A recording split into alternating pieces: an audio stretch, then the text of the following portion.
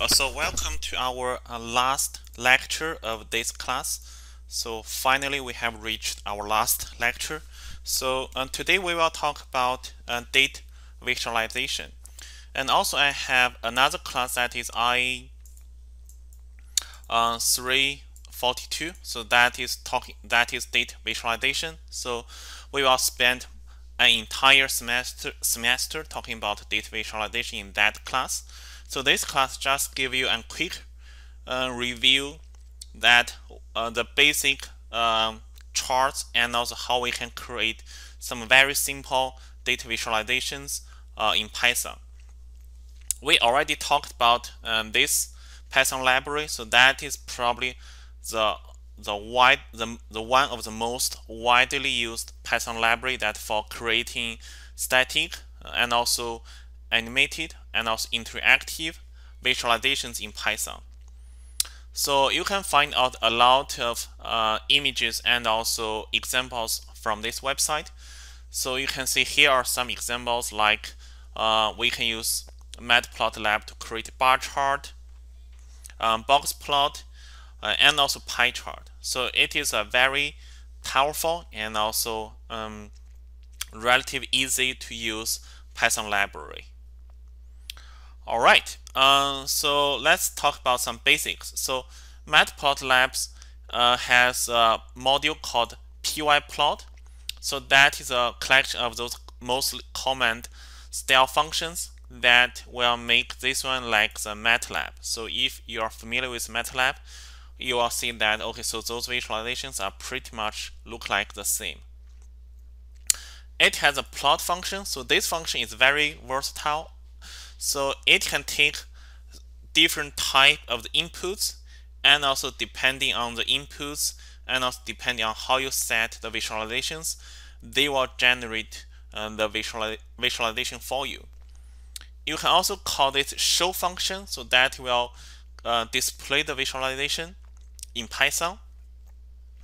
Uh, for notebook, for Jupyter Notebook, so we will use this magic command so that only work in notebook that can tell Python that we want display the visualization within the notebook. So you know we know that in a notebook, so you can write the comments, and if you write this magic commands, and you can see all visualizations within your notebook.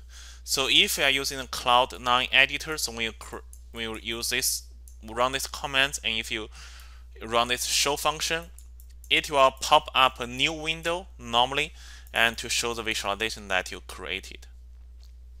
Okay, so let's see an example that in Python first. Uh, so let's go to SageMaker and uh, let's start our instance. Okay, so let's make that as to start. And while this is loading, so I just also want to remind you that uh, in our S3 bucket. And we have the data that is called uh, house price. Okay, so that is from our last lab. So in today's lecture, we are going to use this house price again so that uh, to visualize some data. So in the previous labs, we created some, calculate some statistics in Python. And this, this class, we will create visualizations.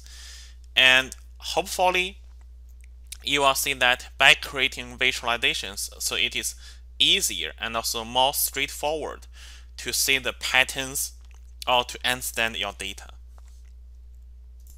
Okay uh, so now it is ready. So as we always always did so let's first um, update our local repository so that we want to make sure that our local repository has the same version as the GitHub repository.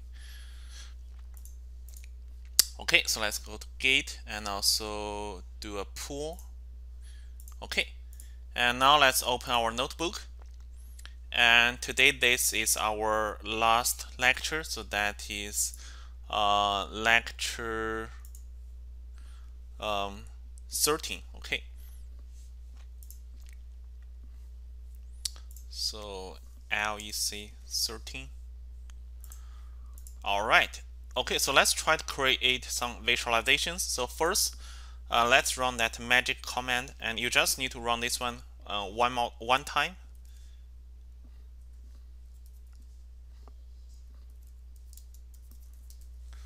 Okay, uh, so just run it once in this notebook, and that's it. So and starting from there, so all the following uh, visualizations will be displayed within the notebook. And next, let's import the Python library. So that is matplotlib.py plot. Normally we, we, we import that as PLT for short. So uh, also it's a convention that we use PLT. So if you read the other uh, Python code, M-A-T-P-L-O-T-L-I-B, okay. So if you read some other Python code that are using PLT, and that is highly likely that uh, they are using the matplotlib. Okay, yeah, and also matplotlib should be installed uh, by default. Okay, so now let's create a line chart. So let's say plot.plot. .plot. And, and this is a very um, versatile uh, function. So depending on the data you provided, so let's say uh, they can create different visualizations. So let's say we, we provide um, a list and also let's create another list 1 4 9 16 okay and let's give it a title okay so this is our title. Let's give it a label that x label y label so that is y. Okay and now we can use that plt dot show function to invoke that visualization. So um, in notebook it will be displayed beneath this cell and if you are using other python editors so you may see a new window that pop up Okay, but personally, I, I prefer uh, seeing this in the cell because um, we can see that directly within the notebook. Okay, and actually in, in Pandas data frame, they also has this plot function. And you may feel like that is a separate or independent um, method. Actually, this plot function actually is calling this plot.plot .plot function. So uh, pandas is actually using the matplotlib. And for the data frame, plot is a convenient way, way that we can visualize our data that with for all the columns and also for all the labels. Okay, so let's see one example that in pandas. Okay, um, so let's say first let's import pandas. And let's load the, our data that uh, from our S3 bucket. So here, let's find out this house price data and also copy the URI. We say data frame equals pandas dot read Excel files. Okay. Now let's see this data frame. So So here we are loading the uh, house price from the S3 bucket into our local notebook and we can see here we have price, number, bedroom, bathroom, house type, lot size, etc. So now we can call the plot function directly within this data frame. So let's say plot uh, here x equals built in okay so in in the, in this new chart, x will be the built-in, and y equals price.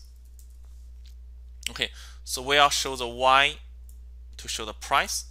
And now if we run it directly, okay, and you can see that we have this uh, very interesting data. Okay, so that does not look like um, uh, in our uh, slide. Okay, so that is because I didn't sort the data. Okay, that is because I didn't sort the data. So if I sort the value, so that is data frame dot sort values by